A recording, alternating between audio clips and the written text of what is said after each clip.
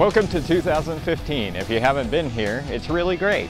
Haven't seen any flying cars yet, but you never know. I'd like to start the year off by showing you how to play games in 3D using TriDef 3D drivers.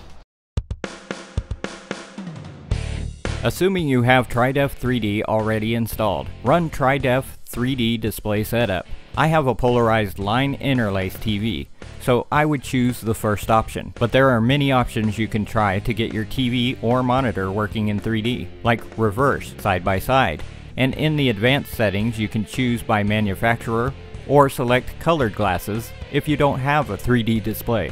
For now, I'll set it to side by side and manually set my TV to side by side 3D, so I can capture gameplay video in the best quality. Now run 3D Ignition.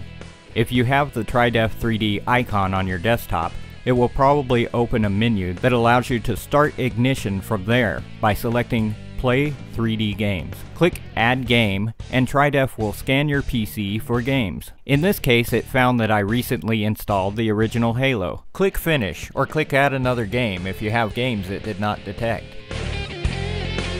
Click Add Game. This time it did not detect any games. Click Add Game manually. Click Using Steam. Click Browse.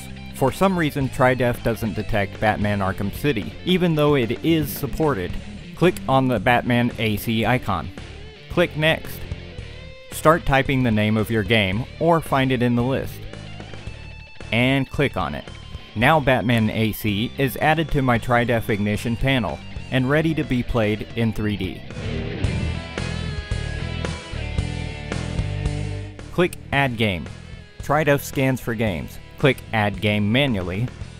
Browse for the game icon wherever you have the game installed. Here I've added Star Wars Jedi Knight 2, which is not supported by TriDef 3D. Type the name of the game in just to make sure it is not supported. You could try a game that is similar. In this case, Star Wars The Old Republic might work. But instead, click on the text saying the game is not on the list. This is where you can use custom profiles that people put online. For now, just leave it on generic and click finish. There you go. Your unsupported game is ready to go. All you have to do is run it and test it.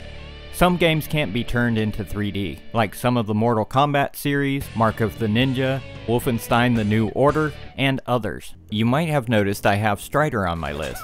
It looks great, but a while back it was unplayable in 3D. I would get blank screens every once in a while and it was just bizarre. At the time I put this video together, Batman Arkham Knight had just come out, and was not supported by TriDef, so I used the generic setting, just like I just showed you. When I started playing, it looked strange, so I used Alt-Shift-V to turn on Power 3D, and it looked great. But try whatever games you want. I'm using Windows 8 Pro, and I've had games crash before they start, or you could get a blank screen, or flashing screen, or just a plain ugly mess. I don't think it will hurt anything, but you do this at your own risk. If it crashes and takes out your $1,000 solid state drive, I wasn't there when it happened. Well that's it for this edition of the WH Game Hideout. I'll see you next time, and keep your glasses on. Where are my glasses?